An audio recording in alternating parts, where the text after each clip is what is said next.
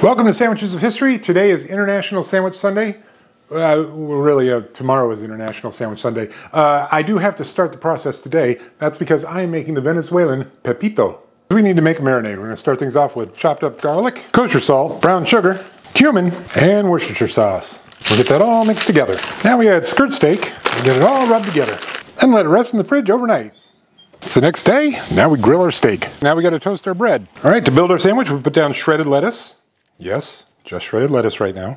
Sliced tomato, our grilled steak, Parmesan cheese. It says to use finely grated, but this is what I got, this is what I'm using. Potato sticks, yes, really, potato sticks.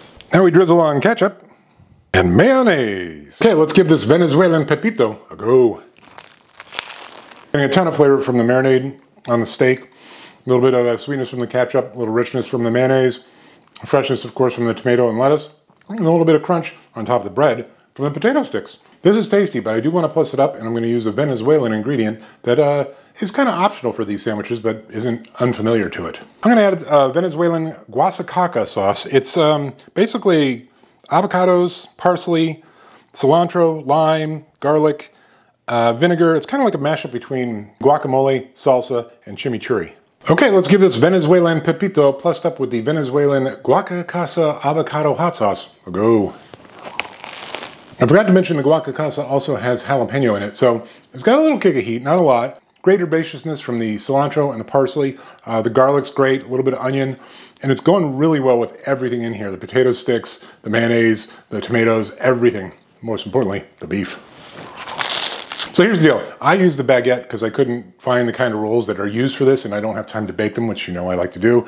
Um, so I just used the baguette, which is kind of approximates it. And I gotta say, the original Venezuelan pepito sandwich was delicious. It was an interesting combination of flavor with that Worcestershire sauce, uh, garlic uh, marinade for the meat. Uh, the grilling, of course, is always welcome. Uh, lettuce, tomato, a little freshness.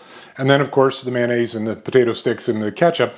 It was good. And the grilled bread, I'm gonna give that, I'm gonna give that a nine and a half because with the guacacasa avocado hot sauce, easily a 10. That is delicious.